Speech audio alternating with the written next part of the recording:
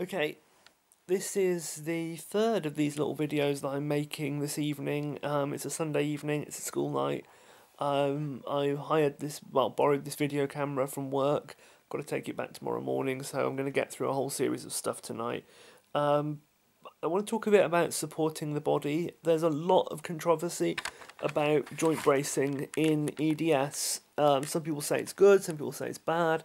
Some people say it weakens the joints even further. Some people say that it's okay in moderation. How much is moderation? You know, a really difficult area. Um, I personally, in my own experience of my own presentation of EDS, find that there are days when I could not get out of bed without some level of bracing.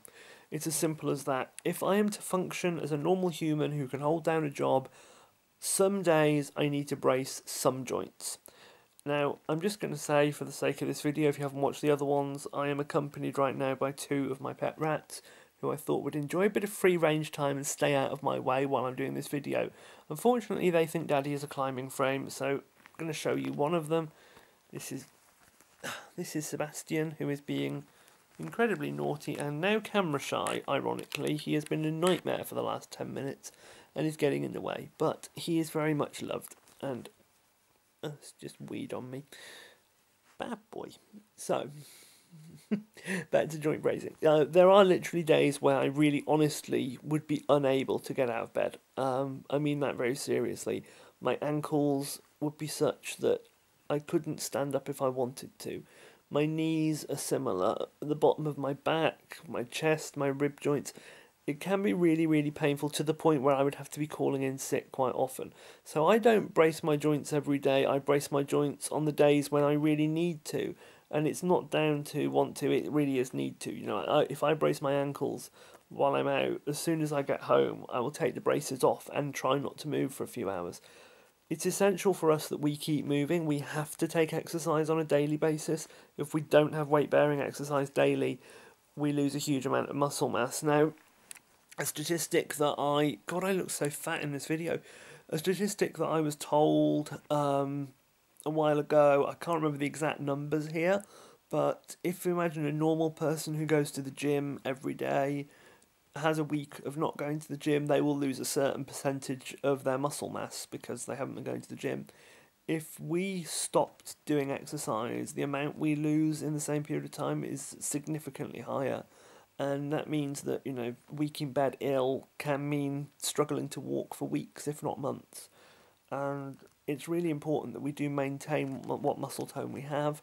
And the maintenance of that relies on regular movement and regular exercise. And if you're in too much pain to be able to achieve that you can end up worse off. So bracing as a means to an end i think is perfectly viable I think it's perfectly viable as a means to just being able to actually live your life and have a job.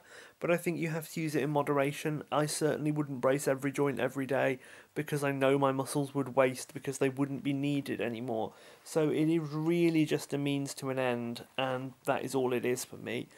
Now, what braces do I use? I have a mixture in terms of I own some braces personally, and some braces were bought for me by the Access to Work scheme that we have in the UK, which helps employers to provide equipment necessary when employing disabled members of staff. And depending on how many employees an organisation has, the employee the employer might be paying all of the costs or some of the costs or whatever. And it's a really complicated system that I don't fully understand and I don't think anyone does. And you have to fill in loads of forms that are on really cheap horrible paper. Thank you Department for Work and Pensions.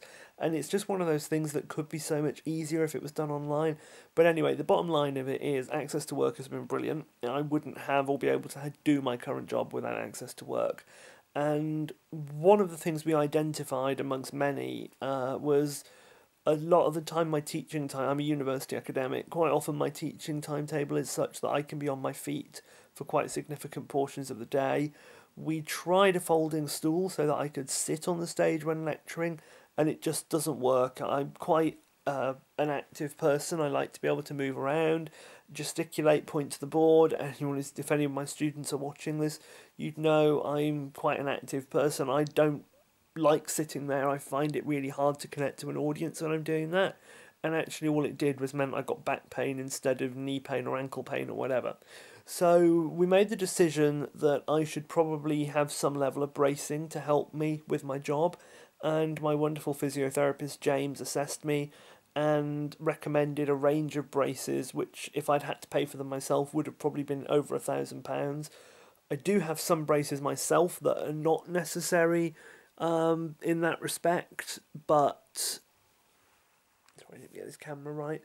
But um, the ones I most commonly use in the workplace are ones that are bought by Access to Work. So they are mostly by DonJoy, or I think they're pronounced Bauerfeind or Bauerfeind.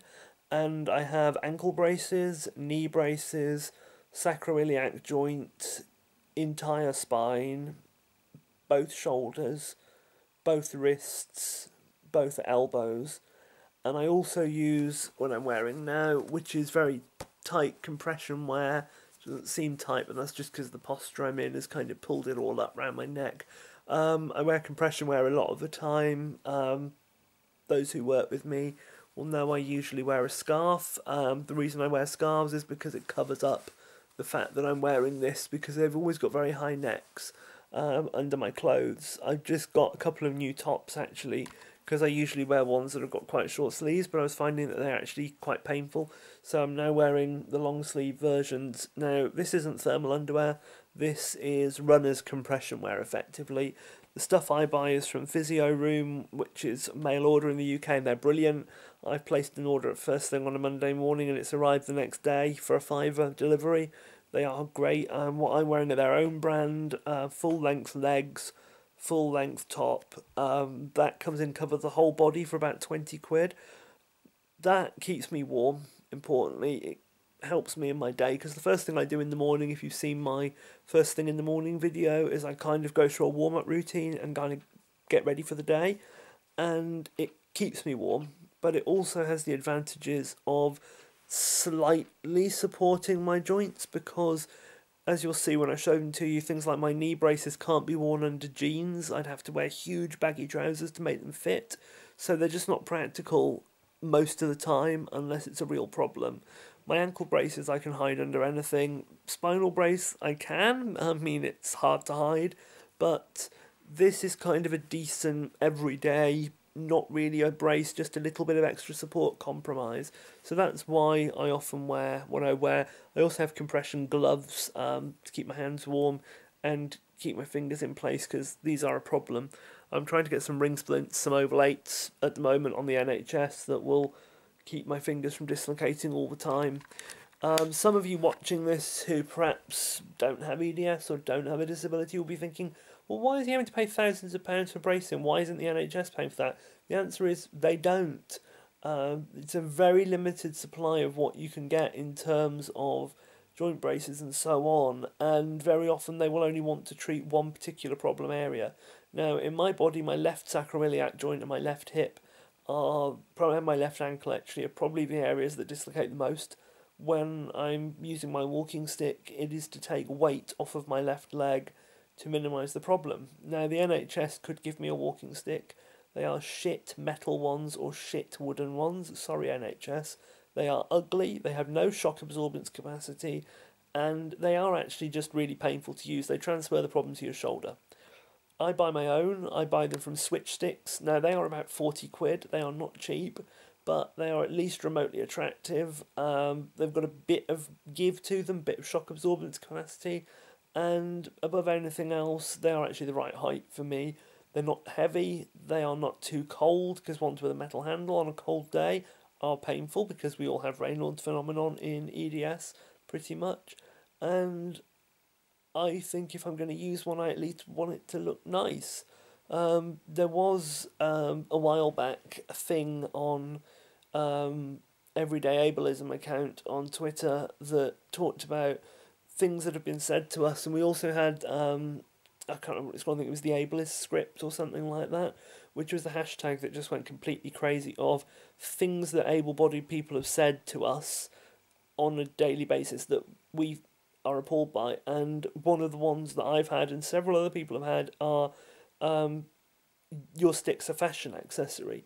because I've chosen to have one that actually looks nice, it can't possibly be used for a medical purpose.